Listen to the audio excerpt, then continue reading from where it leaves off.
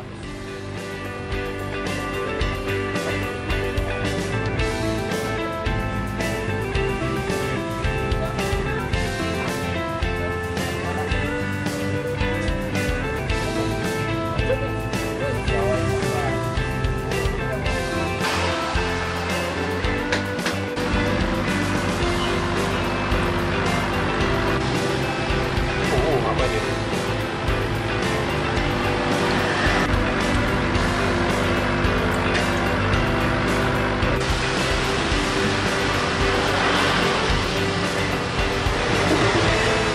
Yang ini axolot salamander jenisnya. Jadi hewan asal Meksiko sebenarnya.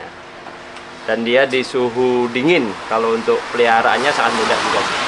Kalau di Bali sendiri saya rasa belum. Cuman ada beberapa temen yang dulunya sempat budidaya tapi eh, gagal ya masih gagal.